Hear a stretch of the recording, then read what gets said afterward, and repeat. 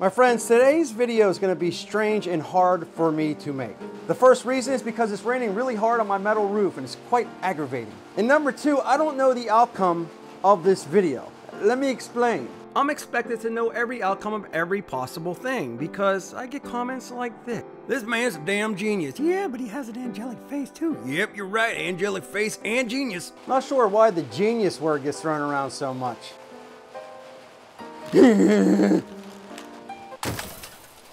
New world record. However, the one question I don't know how to answer is who's going to win between the Milwaukee IA and the Milwaukee IA? I think it's time to do voiceover work because this rain, it's not real nasty. All right, so some background on what we're talking about. A couple days ago, the M18 compact brushless impact driver, I posted a short on the right and a couple of the viewers mentioned that they really weren't sure what the difference was between the M12 or why wouldn't I just go with the M12? What's the weight difference, the power difference, and just all around difference between the new M18 and the new M12. So I figured I'd put them in a tool duel, go head to head with each other and see which one you like best. But here's the problem. Sometimes I assume that my viewing audience already knows everything about the M12s and the M18s and the differences. And a lot of you do, but a lot of you don't. So let me just give you a quick breakdown. The M12 bat rays are much smaller than the M18 and what's nice about these tools is it allows you to come out with cool tools like this, you know, something that's not very heavy, very bulky. This is a 3 inch cutoff wheel. They're really cool tools. And then you got the M18s that are used on larger tools such as miter saws and the table saws and even your nailers, your belt sanders, your routers, just about everything else that a larger tool would need, especially those high torque impact wrenches and the impact drivers and all that. But today I want to do a comparison between between the M12 that I love, and this tool is a great tool. I use this to put up a lot of cabinets and all that good stuff. Very compact, very lightweight. But as many of you commented, why would you buy the M18 when you already have the M12? Well, there are some differences. So let me talk to you about the new M18 compact cordless. Now there's two different versions of this. The one I have here that doesn't have any mode selects, but you do have a variable speed trigger.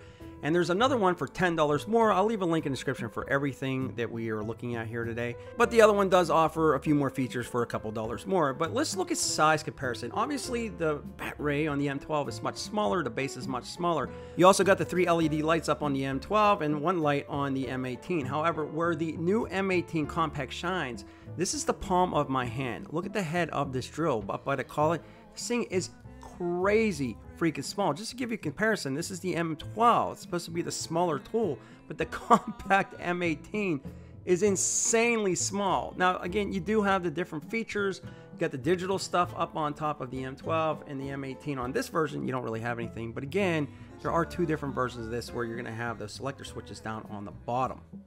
Now, before we use and abuse, let's talk about weight. The M12 by itself, you're looking at 1.58 poundage. Yeah, I know, my scale's a little dirty. Sorry, I work. But let's go ahead and take the M18 compact cordless and throw that up tool only, and you're looking at 1.7. That'll go up to 4 pounds. So 1.74 poundage for the tool only. And the reason why this thing's to be a little bit heavier, obviously, is because of the base itself. Now, this one does have the carrying clip or the belt hook on this, but as you can see on the other one, we do have the belt hook on that as well. So the base, gonna be bigger, it's gonna make that tool a little bit heavier. Let's throw it on with a larger 4H bat though. And in case you didn't know, the 4H is like a mid-size. You got the 6H. And you can go down to a 2H, which we'll try that, but 2.48 pounds with the 4H that we, we will be using today's testing. Now we also got a 2.0 it's the M18. With that on tool, you're looking at 2.69 pounds, so definitely a little heavier. Now, even though the M18 is about as light as we're going to be able to get it, if you want to go even lighter, you can use a 1.5 M12 on there, and it brings it down to 1.98 pounds, which is crazy light. Now, again, this is a comparison video. We're looking at collets. This one does not have a quick release or anything like that, so you have to pull out the collet, put that bit in. However, on the M12, you got the quick collet where it'll automatically snap in as soon as you push down. So that might be something that's pretty important to you, and I just want to put that out there. But what about driving power and speed? Well, if you're just using construction screws going down through a tree at 6x6 with no pilot holes, well, either one of them is going to do just fine for you.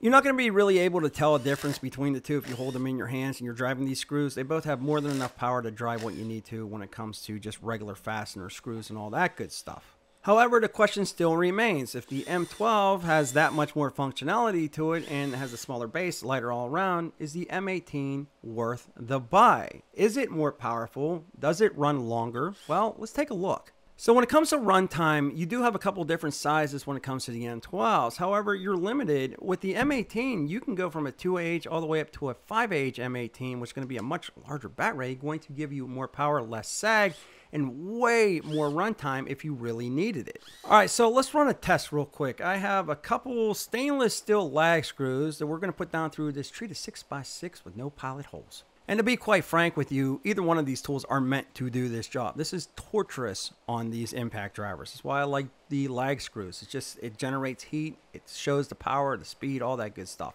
So we're basically just to race these impact drivers. If either one of them can make it down through, great. If they both do, great. Which one will drive it faster? Which one has more power? All that. Now on my left hand, I am using the M18. I am dominantly right-handed, so I'm to use the M12, which some people say would give it an advantage. I don't know why I'm not pushing down on either one of these.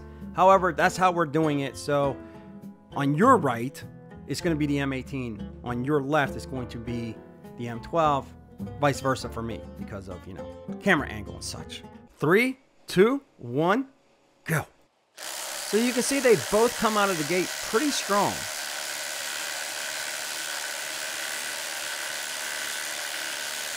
However, it's at this point where you're noticing a little bit of sag with the M12, whereas the M18, it just consistently goes at that same speed. The M12 slowing down a little bit, the M18 still going the same.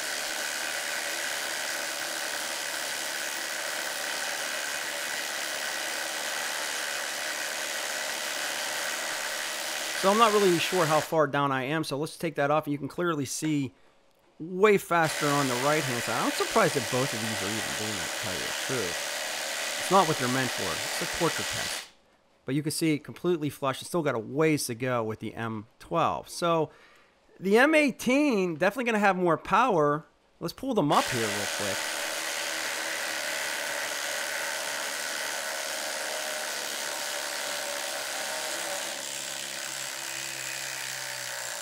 So at first, when I was pulling those out, I, I love the smell of that woodage. Oh, that hot woodage. So really thought it was going to be a tie, but the M18 just blew it away once it started getting its RPMs up. And, and just that's why you want the M18 with the smaller size, if you ask me. So both did a great job. However, the M18, when it comes to speed and power, it's just going to win. All right, but what about price? Oh, by the way, the M18, definitely a little warmer. I think it was working a little bit harder. And it's a little bit smaller, so that heat's a little bit harder to dissipate. Where the M12, much cooler, but did not work as hard or as fast. All right, so price-wise, the cheapest I could find, I'll leave a link in the description below, 129 for the version that has the three-mode selector on it. Grainger, for some reason, wants like 189. Why anybody still uses Grainger, it, it makes no sense to me. For the one we showed today, only 119. Of course, these are tool only.